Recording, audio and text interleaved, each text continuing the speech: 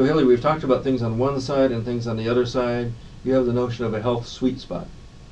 Yes, I do, because you could see you wouldn't want to prevent heart disease by living a life full of infection and dying from tuberculosis or all the other things that you might suffer from. On the other hand, uh, the process of aging in the United States, we see this increased risk of heart disease and of diabetes. Uh, my hope is that we what we could do is learn from the compar- comparisons between populations to find out where would there be a health sweet spot, like in tennis, the best place to hit the ball, where you have lower infection but lower cholesterol, better heart results. And I think that um, we are likely going to require to have significant changes in lifestyle in terms of increased activity, uh, decreased uh, weight gain, as well as keeping ourselves from being infected. I think we could find a health sweet spot where most people are able to live to old age without risk of heart disease, but without the downsides uh, of the harsh environment. It's a nice idea, the health sweet spot. This sounds a little bit though like what we've all been told by public health people and our doctors. They say, eat less, exercise more. Please eat less and exercise more. Please, please, please. And the obesity keeps going up dramatically every single decade. I one of the things that's happened with me is actually seeing the data on the Tsimane has affected me. Uh-huh. It's affected how I eat, how I exercise. They're a lesson for us. When you see that a whole population can live to old age without getting diabetes or heart disease, you ask yourself, what do I want to change in my life? So what, what, what did you change? outcome. What did you change in your life? I increase my exercise. I decrease my consumption. How quickly of- do you wear out a mountain bike? Well, I just keep repairing my mountain bike because I love that bike. Yeah.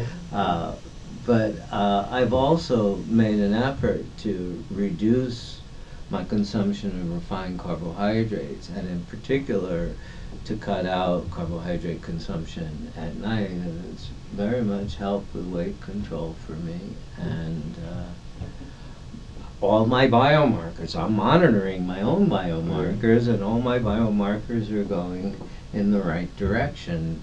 I've had hypertension, and I would very much like to not have to be on medication the rest of my life. Mm-hmm. So the Tsimane for me are a guiding light on some of the important things that we have to do. So maybe if everybody knew more about the possibility of living a healthy life, that might help them to do what they need to do. I think that the knowledge that you can translate your behavior into good outcomes for yourself makes a difference. I don't think it's enough. I think we still have to figure out a way to um, fight all the forces that are going in the same direction for us. So they're building supermarkets and malls so we can park as close as we could to the door so we could do the least exercise possible.